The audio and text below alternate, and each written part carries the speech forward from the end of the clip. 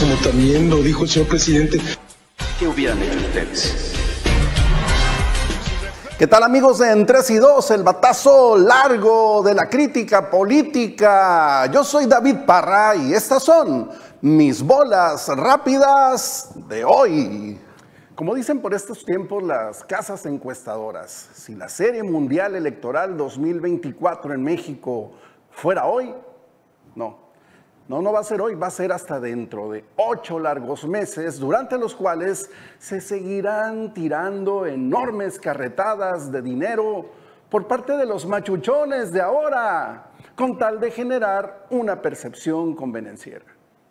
Lo que sí pasa hoy es que las encuestadoras están bateando largo, muy largo y con mucha anticipación por la inobservancia de las reglas de un juego donde el umpire es la botarga. ¿Y cómo no va a invertir Machín la directiva de los emperadores de Macuspana?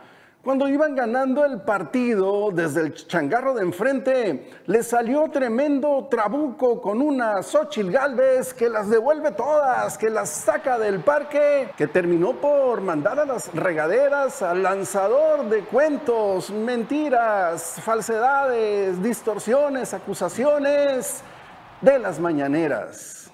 Hoy ya ni en el turno ad bala quieren mencionar a esta señora X que en tan solo tres meses le dio la voltereta a un partido que ya llevaba como cuatro años y que lo sentían en la bolsa. Nada de eso.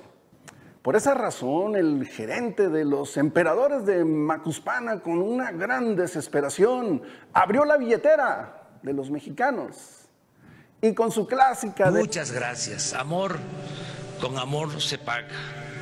A billetazo limpio. Cuenta la leyenda que contrató caras encuestadoras, youtuberos y cuanta fauna carroñera disponible buscando lesionar de mala manera a la cuarto bat de los gelatineros de Hidalgo. Pero el box score no miente y por más que se busque sembrar la idea el partido fue otro, el respetable fue por su propio pie al estadio, pagó su boleto, compró cheve, compró tacos, cacahuates, entusiasmados y encarrerados con la Xochitl manía.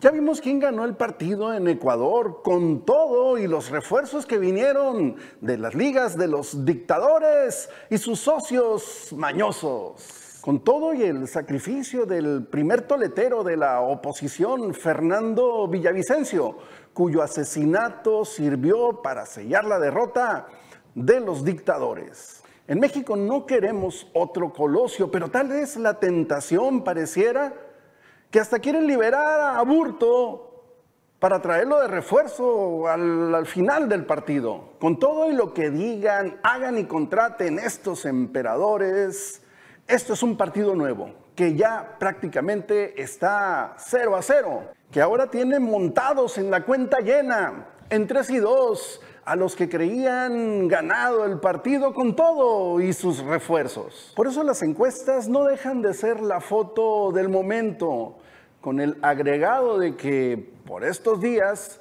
están tan cuchareadas que es difícil saber en cuáles confiar. Por eso podemos decir que esto trasladado a las elecciones locales no es remoto pensar en una serie mundial como la de 2000 o como la de 2018, donde ganaron Vicente Fox y López Obrador de una manera inesperada y que tuvo reflejo hacia las elecciones locales. Sonora no puede ser la excepción. Y ahorita, por más que las encuestas en el Estado digan que hay carro completo, está por verse. Yo soy David Parra y estas fueron mis bolas rápidas de hoy. A un minuto de aterrizar, a menos, short como a cinco minutos.